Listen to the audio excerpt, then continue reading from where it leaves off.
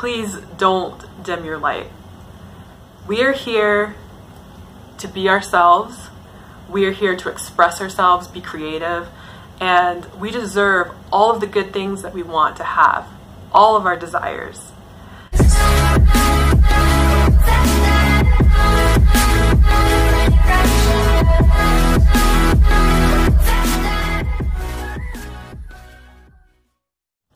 Hello, beautiful light beings. My name is Monica, and thank you so much for spending some time with me today.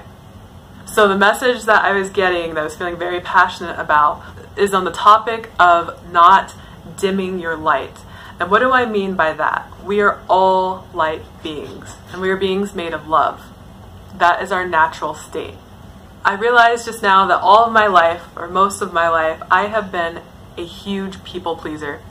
I would do anything to make people happy, smile, laugh, feel better if they were feeling down. A lot of times even at my own expense.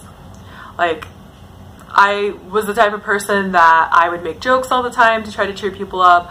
I would do a lot of acting and dancing. I would pretty much entertain my friends a lot. Uh, I would even I would even intentionally trip and try to make it look like an accident just to make somebody laugh. So that didn't seem so bad in my younger years. But I also thought about the fact that my mom, and I love my mom, she was the only person, she raised me as a single mom, and I love her so much. Uh, but I was thinking about when I was a child how she always seemed to put me on a pedestal. And you would think, huh, that doesn't seem so bad. Why would you complain about that? Well, I realize the downfall of putting someone up on a pedestal is if they have a personality like mine, then I feel like I need to tone myself down a lot to make other people feel better. Like I don't want someone to feel jealous of me or inferior of me in any way, no matter what it is.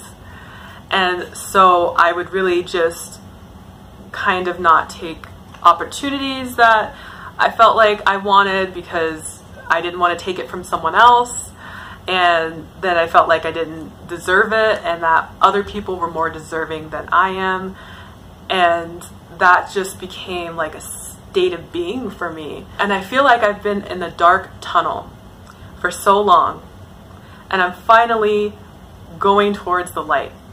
And I am healing. I've healed so much and I'm still healing and I believe we're always kind of healing in some way form or another and as I'm healing, I just feel all of this love that I just want to share um, and this insight that I've learned from being in such a dark place with other people, which is why I started this channel. I thought of one more example. Uh, years ago, I had this best friend in high school, and one time she told me that I basically made her feel bad because whenever we would go out somewhere, she would get dressed up and then she would see me and she would see say that she thought I was more dressed up and that I always looked better and so that kind of made her feel bad. And I know she wasn't saying this to make me feel bad but she was, she was just being honest which is great that's fine. But I took it as okay well maybe I don't want someone to feel like they're not as pretty because of how I'm dressed or something so subconsciously I, that's how I took it and then I noticed I started to dress not so nice or you know down because I've always been uh, growing up I was always a person who really liked to dress up and get extra fancy even if I was just like going to the store because that's just how I I like to look. I like to feel good about myself and apparently I didn't know that made other people feel bad about themselves. But I realize now that that is not my problem. That might sound harsh but if someone else is feeling inferior to you or jealous of you, say you're in a, a, good relationship and they're not, and so they're not really happy for you, or you just got a promotion or a really good job and they they hate their job, and so they're jealous of you because of that, and they try to make you feel bad about that. Uh, first of all, I would I would encourage you to find new friends because I feel like your friends should be happy for you and supporting you and encouraging you along your journey just like you would along theirs, no matter where they are, because life is not a race. We're all on our different paths. Um, a lot of times we're just comparing ourselves to other people, and that's taking away from whatever things that we have to be grateful for in our own lives. So, my message to you is to honor yourself, to go for whatever it is you want. Be yourself. Be yourself. But I mean, I guess I really don't know what else to say. It's just don't try to knock yourself down to lift other people up. By being yourself and going for what you want, being happy, you lift other people up as well. You even lift the consciousness of the planet up just by being yourself, being true to yourself, loving yourself, and being happy with yourself and being happy with others.